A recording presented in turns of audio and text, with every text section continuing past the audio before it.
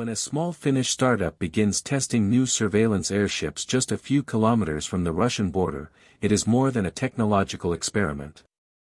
It is a signal of how rapidly the nature of aerial reconnaissance is evolving in Europe. The company Kelluu, based in the city of Joensuu, has introduced a new generation of lightweight hydrogen-powered airships designed for long-endurance monitoring missions, and what makes them truly notable is their resilience to electronic warfare.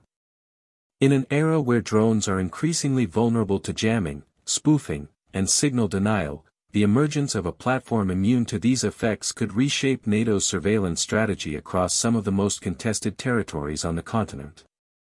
Kelluu's airships are not the massive zeppelins of the early 20th century, nor the commercial hot air balloons familiar to tourists. They are compact, aerodynamic, and engineered with clear military potential. Roughly the length of a city bus but only 2 meters wide, these vehicles can stay airborne for up to 12 hours, far beyond the endurance of most small UAVs. This combination of a narrow profile and extended flight duration makes them uniquely suitable for persistent observation roles such as border monitoring, infrastructure protection, wildfire detection, and maritime patrol. At the same time, their surprisingly low production cost allows for simultaneous deployment of multiple units without fear of catastrophic financial loss. The technology driving these craft is deceptively simple. Each airship is filled with hydrogen, a choice that solves two problems at once, it provides lift and it powers the propeller system. Unlike battery-dependent drones, Kelluu's platform does not need frequent landings to recharge. This autonomy alone gives it strategic advantages, enabling operators to monitor a zone continuously through the night or to conduct slow, precise flights along sensitive borders. Carrying up to 5 kilograms of payload, the airships can host optical cameras, infrared systems, synthetic aperture radar, or specialized environmental sensors tailored for specific missions. With a top speed of about 53 km per hour, they are not designed for rapid interception but rather for calm, steady, reliable overwatch. Yet the real breakthrough is not endurance or payload flexibility, it is resilience. Kelluu's engineers have been operating in a region where Russian electronic warfare regularly spills across the border, creating a natural testing ground.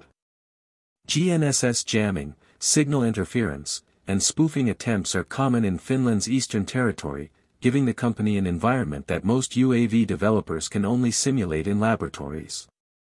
Instead of being a challenge, this constant electronic pressure became a training field that allowed the team to refine navigation algorithms, improve control redundancy, and develop systems that remain functional even when external signals are denied entirely.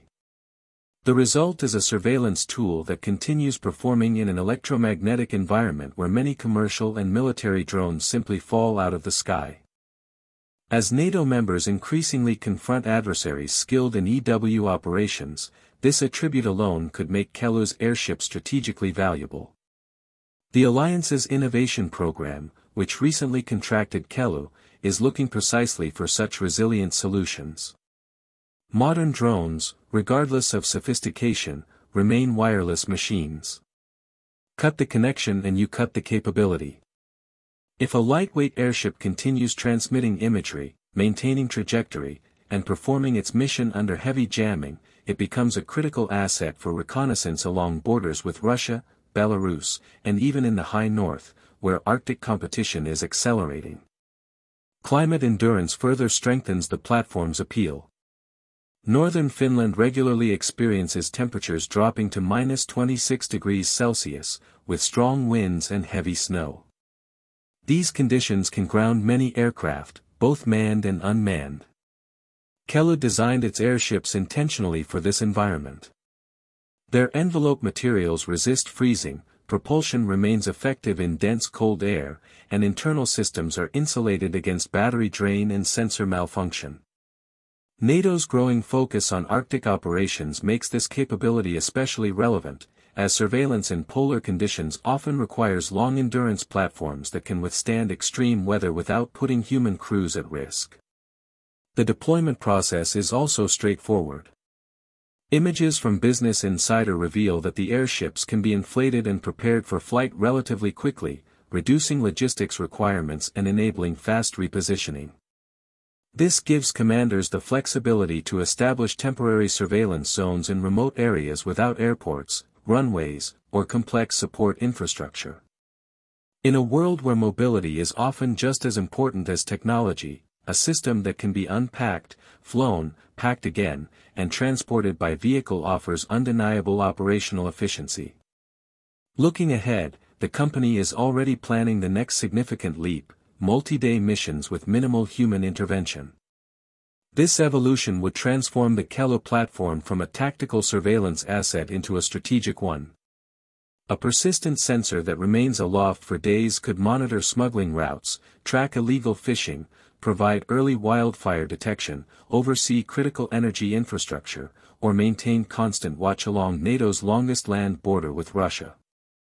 Persistent airborne presence is something militaries have long pursued with satellites, large UAVs, and high-altitude balloons. The difference here is cost. A fleet of inexpensive autonomous airships could accomplish tasks that once required multi-million dollar assets. From a defense analysis perspective, the timing of Kelluu's breakthrough is not accidental.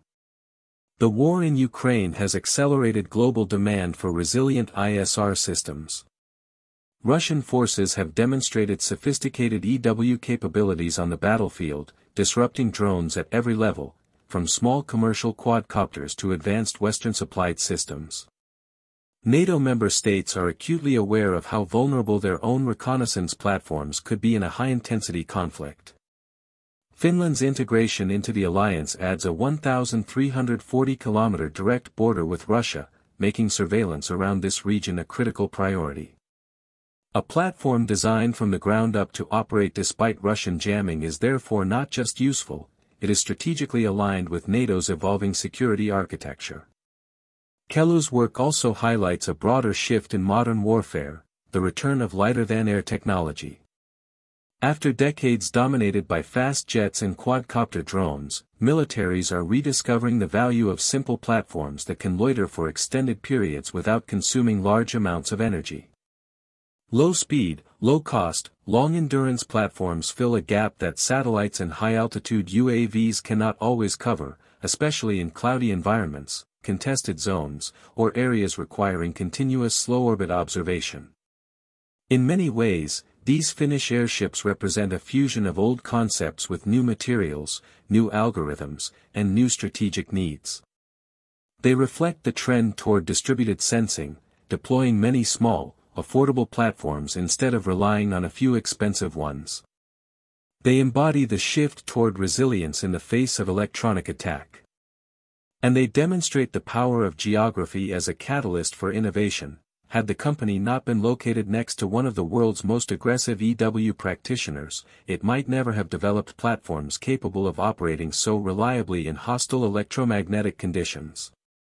For NATO, this technology is more than just another sensor platform. It is a step toward a surveillance ecosystem that remains functional even when adversaries attempt to blind it. For Finland, it is a symbol of its new role inside the alliance, a contributor of hard-earned expertise shaped by decades of living next to an unpredictable neighbor. And for the wider military tech community, it is a reminder that sometimes the most effective solutions emerge not from massive defense corporations but from small startups confronting real-world challenges on their own doorstep.